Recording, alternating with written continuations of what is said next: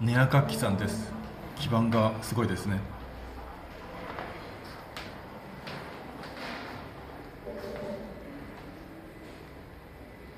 ダジャレもすごいですねではネア楽器さんお願いいたしますはい、よろしくお願いします。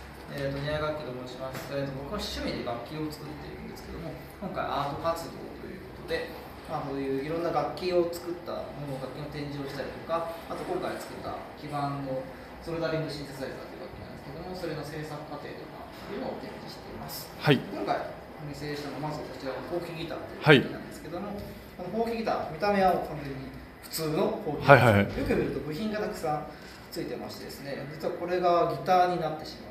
はあはあはあ。実際にじゃあ弾いてみたいと思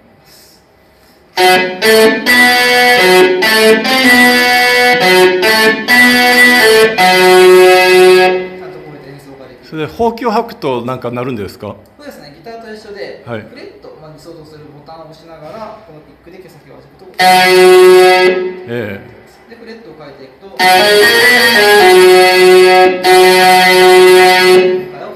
でもなんかこれってなんか美しさを放棄してますね 美しさを放棄してないですよ。ええ面白さを追求してるんですか？すね。はい面白さを追求しています。で、あの普通のギターと同じようにこうチューナーがついてまして、はい変え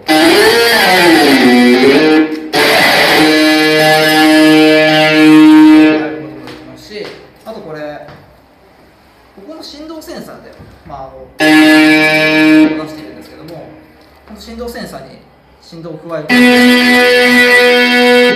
が出るので、はいこうやって床掃除をしながら。演奏することもできます。はい世界で初めてのですね、掃除もできちゃう楽器。はいはい大変便利ですね便利です。なんかあの小学校の時にね、掃除の時間にあのあーギターやってええ怒られた経験ある方も多いと思いますけども、あのこれを使えばちゃんと掃除もできるし、はいこれを使うとあの大丈夫ですともう怒られませんね。もうこれね。ね。え掃除してますからね。ええ。そうですね。完璧な。ええ。はい。どうもあありがとうございました。さようならの大仏おしまいキルジャクソン